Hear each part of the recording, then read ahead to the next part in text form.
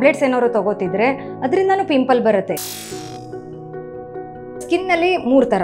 Normal skin ಇರ್ಬೋದು, oily skin ಇರ್ಬೋದು, dry skin ಇರ್ಬೋದು. ಯಾರಿಗಾದರೂ ಪಿಂಪಲ್ ಲಕ್ಷಣ ಕಾಣಿಸ್ಕೊಬೋದು. ಯೂಶಲಿ ಆಯಿಲಿ ಸ್ಕಿನ್ ಇರೋರಿಗೆ ಸ್ವಲ್ಪ ಪಿಂಪಲ್ ಅಂಶ ಜಾಸ್ತಿ ಅನ್ಸತ್ತೆ. ದಿನಕ್ಕೆ ಎರಡರಿಂದ ಮೂರು ಸತಿ ಮುಖ ತೊಳ್ಕೊಳ್ಳೋದು. ಸೊ, ಪಿಂಪಲ್ ಟ್ರೀಟ್ಮೆಂಟ್ ಮಾಡೋದು ಈಸಿ. ಆ ಕಲೆ ಟ್ರೀಟ್ಮೆಂಟ್ ಮಾಡೋದು ಇನ್ನೂ ಕಷ್ಟ ಆಗ್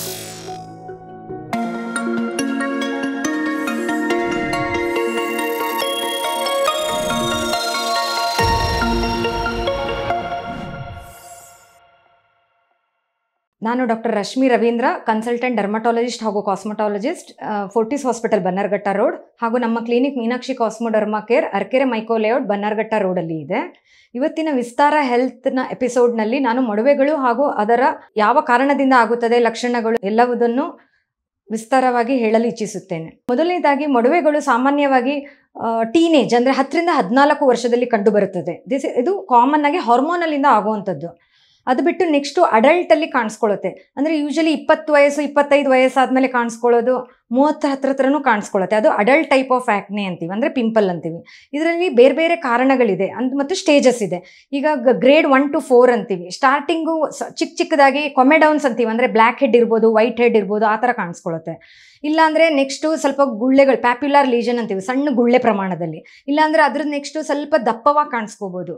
ನಾಲ್ಕನೇದಂದರೆ ಪಸ್ ಫಿಲ್ಡ್ ಇರೋದು ಕಾಣಿಸ್ಕೊಳ್ಳುತ್ತೆ ಸೊ ಯೂಶಲಿ ಕೊಮೆಡಾನ್ಸ್ ಅಂದರೆ ಬ್ಲ್ಯಾಕ್ ಹೆಡ್, ವೈಟ್ ಹೆಡ್ ಇದ್ದಾಗ ಮನೆಯಲ್ಲೇ ಸ್ವಲ್ಪ ತಕ್ಕ ಮಟ್ಟಿಗೆ ನೋಡಿಕೊಂಡ್ರೆ ಚರ್ಮ ಚೆನ್ನಾಗಿರುತ್ತೆ. ಇಲ್ಲಾಂದರೆ ಹತ್ತಿರ ತಜ್ಞ ವೈದ್ಯರನ್ನು ಕಾಣಿಸ್ಕೊಳ್ಳೋದು ಒಳ್ಳೆಯದು ಎರಡನೇದಾಗಿ ಈ ಇದೆಲ್ಲ ಇದು ಕಾಮನ್ ಫಿಸಿಯೋಲಾಜಿಕಲ್ ಅಂದರೆ ಹಾರ್ಮೋನಿಂದ ಆಗುವಂಥದ್ದು.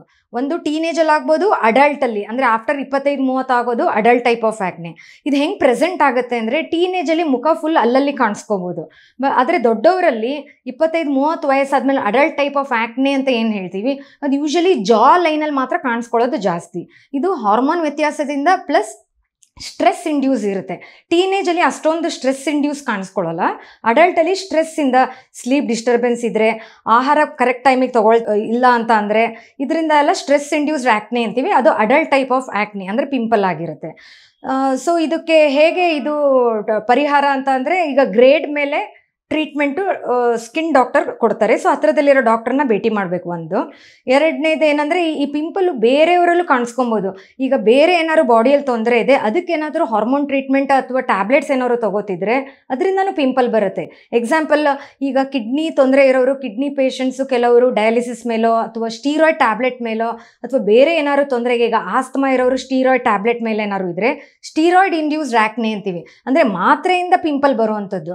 ಸೊ ಅದಕ್ಕೆ ಕರೆಕ್ಟಾಗಿ ಹಿಸ್ಟ್ರಿ ತೊಗೊಂಡ್ರೆ ಪೇಷಂಟಿಗೆ ಏನು ನಾರ್ಮಲ್ ಫಿಸಿಯಾಲಜಿಕ್ಕಿಂದ ಪಿಂಪಲ್ ಬರ್ತಿದೆಯೋ ಹಾರ್ಮೋನ್ಸಿಂದನೋ ಅಥವಾ ಸ್ಟ್ರೆಸ್ಸಿಂದನೋ ಅಥವಾ ಯಾವ್ದಾದ್ರು ಬೇರೆ ಮಾತ್ರೆದು ತಗೊಳ್ಳೋದು ಸೈಡ್ ಎಫೆಕ್ಟ್ಸು ಅಂತ ಗೊತ್ತಾಗುತ್ತೆ. ಸೊ ಅದ್ರ ಮೇಲೆ ಟ್ರೀಟ್ಮೆಂಟ್ ವೇರಿ ಆಗುತ್ತೆ. ಇದು ಬಿಟ್ಟು ನೆಕ್ಸ್ಟ್ ಏನಂದರೆ ಈಗ depending on the type of skin ಈಗ ಸ್ಕಿನ್ನಲ್ಲಿ ಮೂರು ಥರ ನಾರ್ಮಲ್ ಸ್ಕಿನ್ ಇರ್ಬೋದು ಆಯಿಲಿ ಸ್ಕಿನ್ ಇರ್ಬೋದು ಡ್ರೈ ಸ್ಕಿನ್ ಇರ್ಬೋದು. ಯಾರಿಗಾದರೂ ಪಿಂಪಲ್ ಲಕ್ಷಣ ಕಾಣಿಸ್ಕೊಬೋದು.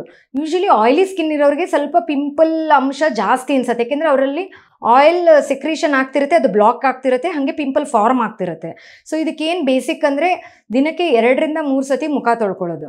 ಒಳ್ಳೆ ಫೇಸ್ ವಾಶಿಂದ ನೋಡಿಕೊಂಡು ನಿಮ್ಮ ಸ್ಕೈ, ಸ್ಕಿನ್ ಟೈಪಿಗೆ ಅನುಗುಣವಾಗಿ ಮುಖ ತೊಳ್ಕೊ, ಒಳ್ಳೆ ಫೇಸ್ ವಾಶ್ ಯೂಸ್ ಮಾಡಿ ಮುಖ ತೊಳ್ಕೊಂಡ್ರೆ ಜಿಡ್ಡಿನ ಪ್ರಮಾಣ ಕಮ್ಮಿ ಆಗುತ್ತೆ. ಹಾಗೆ ಬ್ಲಾಕ್ ಆಗೋದು, ಈ ಸೆಬೇಷಿಯಸ್ ಗ್ಲ್ಯಾಂಡ್ದು ಏನು ಸೆಕ್ರೀಷನ್ನಿಂದ ಪಿಂಪಲ್ ಆಗ್ತಿರತ್ತೆ, ಅದು ಕಮ್ಮಿ ಆಗುತ್ತೆ. ಅದು ಪಿಂಪ್ ಗ್ಲ್ಯಾಂಡ್ದು ಸೆಕ್ರೇಷನ್ ಓಪನ್ ಔಟ್ ಆಗಿ ಅದು ನಾರ್ಮಲ್ ಆದರೆ ಮಾತ್ರ ಚಾನಲ್ ಚಾನಲ್ ಓಪನ್ ಆದರೆ ಪಿಂಪಲ್ ಆಗಲ್ಲ. ಅಲ್ಲೆಲ್ಲಿ ಬ್ಲಾಕ್ ಆದರೆ ಚಾನಲಲ್ಲಿ ಅದು ಪಿಂಪಲ್ ಫಾರ್ಮ್ ಆಗುತ್ತೆ. ಸೊ ತುಂಬ ಆಯಿಲಿ ಸ್ಕಿನ್ ಇರೋರು. ಸ್ಪೆಷಲಿ ಟೀ ಝೋನ್ ಅಂತೀವಿ. ಹಣೆ ಮತ್ತು ಮೂಗಿನ ಮಧ್ಯದ ಟೀ ಝೋನಲ್ಲಿ ಆಯಿಲ್ ಸೆಕ್ರೀಷನ್ ಜಾಸ್ತಿ ಇದ್ದರೆ ಎರಡರಿಂದ ಮೂರು ಸತಿ ದಿನಕ್ಕೆ ಮುಖ ತೊಳ್ಕೊಳ್ಳೋದು ಮಸ್ಟ್ ಆ್ಯಂಡ್ ಶುಡ್ ಈಗ ನಾರ್ಮಲ್ ಟು ಡ್ರೈ ಸ್ಕಿನ್ ಇರೋರು ಅಟ್ಲೀಸ್ಟ್ ಎರಡು ಸತಿ, ಬೆಳಗ್ಗೆ ರಾತ್ರಿ ತೊಳ್ಕೊಂಡ್ರೆ ಸಾಕು. ಇನ್ನೊಂದು ಸೆನ್ಸಿಟಿವ್ ಸ್ಕಿನ್ ಅಂತೀವಿ. ಅವ್ರಿಗೆ ಏನೇ ಹಚ್ಚಿದ್ರು ಅಥವಾ ಒಂಚೂರು ಬಿಸಿಲಿಗೆ ಹೋದ್ರು, ಬೇರೆ ಏನಾದರೂ ಕಾಸ್ಮೆಟಿಕ್ಸ್ ಯೂಸ್ ಮಾಡಿದ್ರು, ಅವರಿಗೆ ಅಲರ್ಜಿ ಅಥವಾ ರಿಯಾಕ್ಷನ್ ಅಥವಾ ಪಿಂಪಲ್ ಆಗೋದು ಕಾಮನ್ ಅಂಥವರು ನೋಡಿಕೊಂಡು ಯೂಸ್ ಮಾಡಬೇಕಾಗತ್ತೆ ಪ್ರಾಡಕ್ಟ್ಸ್ನೆಲ್ಲ ಸೊ ಇದು ಬಿಟ್ಟು ಈಗ basic skin care regimen follow ಮಾಡಬೇಕು. ಆವಾಗ ಈ ಬ್ಲ್ಯಾಕ್ ಹೆಡ್ ಆಗೋದು ಪಿಂಪಲ್ ಆಗೋದು ಕಮ್ಮಿ ಮಾಡ್ಬೋದು. ಎಕ್ಸಾಂಪಲ್ ಏನಂದರೆ, ಈಗ ಬೇಸಿಕ್ ರೆಜಿಮನ್ ಸ್ಟಾರ್ಟ್ ಆಗೋದು ಏನು ಹೆಂಗಂದರೆ ದಿನಕ್ಕೆ ಅಟ್ಲೀಸ್ಟ್ ಒಂದರಿಂದ ಎರಡು ಲೀಟ್ರ್ ನೀರು ಕುಡಿಯೋದು ಫ್ರೆಶ್ ಫ್ರೂಟ್ಸ್ ವೆಜಿಟೇಬಲ್ಸ್ ಅದರಲ್ಲಿ ನ್ಯಾಚುರಲ್ ಆ್ಯಂಟಿ ಆಕ್ಸಿಡೆಂಟ್ಸ್ ಇರುತ್ತೆ. ಆವಾಗ ಸ್ಕಿನ್ ಗ್ಲೋ ಆಟೋಮೆಟಿಕ್ ಇರುತ್ತೆ. ಸೊ ಇದು ಸೆಕ್ರೀಷನ್ಸು ಬ್ಲಾಕ್ ಆಗೋದು ಎಲ್ಲ ಏನೂ ಆಗಲ್ಲ. ಮೂರನೇದು ಏನಂದರೆ ಒಳ್ಳೆ ಒಂದು ಮಾ, ಇದು ಫೇಸ್ ವಾಶ್ ಯೂಸ್ ಮಾಡಿ ಫಾಲೋಡ್ ಬೈ ಒಂದು ಮಾಯ್ಶ್ಚರೈಸರ್ ಯೂಸ್ ಮಾಡೋದು. ಮಾಯ್ಶ್ಚರೈಸರಲ್ಲೂ ಎರಡು ಮೂರು ಥರ ಇರುತ್ತೆ. ಈಗ ತುಂಬ ಆಯಿಲಿ ಸ್ಕಿನ್ ಇರೋರು ಜೆಲ್ ಬೇಸ್ಡ್ ಮಾಯ್ಶ್ಚರೈಸರ್ ಯೂಸ್ ಮಾಡಿದ್ರೆ ಒಳ್ಳೆಯದು ಆವಾಗ ಅವರಿಗೆ ಈ ಸೆಬೇಷಿಯಸ್ ಗ್ಲ್ಯಾಂಡ್ ಅನ್ನೋದು ಬ್ಲಾಕ್ ಆಗಲ್ಲ ಪಿಂಪಲ್ ಫಾರ್ಮ್ ಆಗಲ್ಲ. ತುಂಬ ಡ್ರೈ ಸ್ಕಿನ್ ಇರೋರು ಕ್ರೀಮ್ ಬೇಸ್ ಮಾಯಶ್ಚರೈಸರ್ ಹಚ್ಕೊಂಡ್ರೆ ಒಳ್ಳೆಯದು ಅವರಿಗೆ ಸ್ಕಿನ್ ಸಾಫ್ಟ್ ಇರುತ್ತೆ ಡ್ರೈನೆಸ್ ಕಮ್ಮಿ ಆಗುತ್ತೆ. ಆವಾಗಲೂ ಈ ಪಿಂಪಲ್ ಬ್ರೇಕ್ಔಟ್ಸ್ ಆಗಲ್ಲ. ನಾರ್ಮಲ್ ಸ್ಕಿನ್ ಇರೋರು ನಾರ್ಮಲ್ಲಾಗಿ ಗುಡ್ ಮಾಯಶ್ಚರೈಸಿಂಗ್ ಕ್ರೀಮ್ ಹಚ್ಕೊಂಡ್ರೆ ಒಳ್ಳೆಯದು ಎರಡನೇದು ಏನಂದರೆ ಬಿಸಿಲಿಗೆ ಹೋಗಬೇಕಿದ್ರೆ ಸನ್ಸ್ಕ್ರೀನ್ ಹಚ್ಕೊಂಡ್ರೆ ಒಳ್ಳೆಯದು ಈ ಪಿಂಪಲ್ ಸ್ಪಾಟ್ಸು ಸ್ವಲ್ಪ ಕೆರೆದ್ರೂ ಕಲೆ ಉಳಿಯೋ ಚಾನ್ಸ್ ಇರುತ್ತೆ, ಒಂದು. ಎರಡನೇದು ಸನ್ಲೈಟ್ ಅದು ಈಗ ತೀಕ್ಷ್ಣವಾದ ಸನ್ಲೈಟ್ ಅಂದರೆ ಹತ್ತರಿಂದ ನಾಲ್ಕು ಸ್ಪೆಷಲಿ ಟ್ವೆಲ್ ಟು ಟೂ ಅಥವಾ ಫೋರ್ ಸನ್ಲೈಟಲ್ಲಿ ಅಲ್ಟ್ರಾವೈಲೆಟ್ ಜಾಸ್ತಿ ಇರೋದ್ರಿಂದ ಈ ಪಿಂಪಲ್ ಸ್ಪಾಟ್ಸು ಮೋರ್ ಸೆನ್ಸಿಟಿವ್ ಇರುತ್ತೆ. ಸೊ ಅದು ಅವ್ರಿಗೆ ಇಚಿಂಗ್ ಬರಲಿ ಬಿಡಲಿ, ಕಲೆ ಉಳಿಯೋ ಚಾನ್ಸ್ ಜಾಸ್ತಿ ಇರುತ್ತೆ. ಸೊ ಪಿಂಪಲ್ ಇರೋರು ಪ್ಲಸ್ ಇಲ್ದಿರೋರು ಇಬ್ಬರೂ ಸನ್ಸ್ಕ್ರೀನ್ ಹಚ್ಕೊಂಡ್ರೆ ಒಳ್ಳೆಯದು ಸನ್ ಸ್ಕ್ರೀನ್ ಅಂದರೆ ಸನ್ನಿಂದ ಲೈಟ್ ಮಾತ್ರ ಪ್ರೊಟೆಕ್ಷನ್ ಅಂತಲ್ಲ, ಈಗ ಮನೆಯಲ್ಲೂ laptop rays mobile rays day time ಮನೆಯಲ್ಲಿ ಲೈಟ್ಸ್ ಯೂಸ್ ಮಾಡೋರಿಗೆ ಇನ್ಫ್ರಾರೆಡ್ ಲೈಟಿಂದನೂ ಸ್ಕಿನ್ ಸೆನ್ಸಿಟಿವ್ ಆಗುತ್ತೆ. ಸೊ ಅಂಥವರು ಒಂದು ಒಳ್ಳೆ ಸನ್ಸ್ಕ್ರೀನ್ ಹಚ್ಕೊಂಡ್ರೆ ಒಳ್ಳೆಯದು ಈಗ ಸನ್ಸ್ಕ್ರೀನಲ್ಲೂ ಬೇರೆ ಬೇರೆ ವಿಧಗಳಿದ್ದಾವೆ ಅಲ್ಟ್ರಾವೈಲೆಟ್ ಎ ಬಿ ಮತ್ತು ಇನ್ಫ್ರಾರೆಡ್ಡಿಗೆ ಪ್ರೊಟೆಕ್ಟ್ ಆಗೋ ಸನ್ಸ್ಕ್ರೀನು ಇರ್, ಇದೆ. ಅದನ್ನು ನೋಡಿಕೊಂಡು ಅವ್ರ ಸ್ಕಿನ್ ಅನುಗುಣವಾಗಿ ಯಾವ್ದು ಸೂಟ್ ಆಗುತ್ತೆ ನೋಡ್ಕೊಂಡು ಯೂಸ್ ಮಾಡಿದ್ರೆ ಆ ಪಿಂಪಲ್ ಸ್ಪಾಟು ಕಲೆ ಆಗೋ ಚಾನ್ಸ್ ಕಮ್ಮಿ, ಒಂದು. ಇನ್ನೊಂದು, ಆ ಪಿಂಪಲ್ ಬೇಗ ಹೋಗುತ್ತೆ ಅಂತ ಅದನ್ನು ಪ್ರೆಸ್ ಮಾಡಿ ಪಸ್ಸನ್ನೆಲ್ಲ ತೆಗೆದು ಎಲ್ಲ ಅದನ್ನು ಮೆಡಲ್ ಮಾಡಿದಷ್ಟು, ಉಗುರು ಟಚ್ ಆದಷ್ಟು ಕಲೆ ಉಳಿಯೋ ಚಾನ್ಸ್ ಜಾಸ್ತಿ ಇರುತ್ತೆ. ಈಗ ಅದು, ಅದ, ಅದ್ರದ್ದು ಫಾಲೋಯಿಂಗ್ ಸೀಕ್ವೆನ್ಸ್ ಏನಂದರೆ ಪಿಂಪಲ್ ಚೆನ್ನಾಗಿ ಮುಂಚೆನೇ ಟೇಕ್ ಕೇರ್ ಮಾಡಿಲ್ಲ ಅಂದರೆ ಅದು ಒಟ್ಟೆ ಆಗೋ ಚಾನ್ಸ್ ಇರುತ್ತೆ. ಹೊಟ್ಟೆಗಳಲ್ಲಿ ಬೇರೆ ಬೇರೆ ಥರ ಇದೆ ಹಾಗೆ. ಈಗ ಬಾ box type scar rolling scar ಅಂತೀವಿ. ಅಂದರೆ ಡೀಪ್ ಹೊಟ್ಟೆ ಆಗಿರ್ಬೋದು ಸೂಪರ್ಫಿಷಿಯಲ್ ಆಗಿರ್ಬೋದು ಕಲೆಗಳಾಗಿರ್ಬೋದು, ಇಲ್ಲ ಸಿಂಪಲ್ ಪಿಂಪಲ್ ಕಲೆ ಆಗಿರ್ಬೋದು. ಸೊ ಇದೆಲ್ಲ ಅದ್ರದ್ದು ಪೋಸ್ಟ್ ನೀವು ನೆಗ್ಲೆಕ್ಟ್ ಮಾಡಿದರೆ ಸ್ಕಿನ್ನು ಈ ಪಿಂಪಲ್ನ ಹಾಗೆ ನೆಗ್ಲೆಕ್ಟ್ ಮಾಡಿ ಅದನ್ನು ಮೆಡಲ್ ಮಾಡೋದು ಅಂತೀವಿ. ಅಂದರೆ ಜೂಕ್ತಾ ಕೂತ್ಕೊಂಡಿದ್ರೆ ಅದು ಕಲೆ ಉಳಿಯುತ್ತೆ.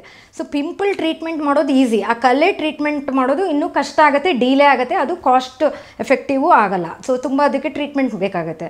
ಸೊ ಮುಂಚೆ ಅರ್ಲಿ ದ ಬೆಟರ್ ಯಾವಾಗಲೂ. ಪಿಂಪಲ್ ಸ್ವಲ್ಪ ಜಾಸ್ತಿ ಇದೆ ಕಂಟ್ರೋಲ್ ಆಗ್ತಿಲ್ಲ. ಅಂದರೆ ಹತ್ತಿರದಲ್ಲಿ ಡಾಕ್ಟರ್ನ ಭೇಟಿ ಮಾಡಿ ಟ್ರೀಟ್ಮೆಂಟ್ ತೊಗೊಳ್ಳೋದು ಉತ್ತಮ. ಸೊ ದಟ್ ಕಲೆ ಆಗೋ ಚಾನ್ಸ್ ಕಮ್ಮಿ ಇರುತ್ತೆ. ಅಕಸ್ಮಾತ್ ಆಗೋಕ್ಕೆ ಸ್ಟಾರ್ಟ್ ಆಗಿದ್ರೂ ಒಳ್ಳೆ ಟ್ರೀಟ್ಮೆಂಟ್ ತೊಗೋಬೋದು.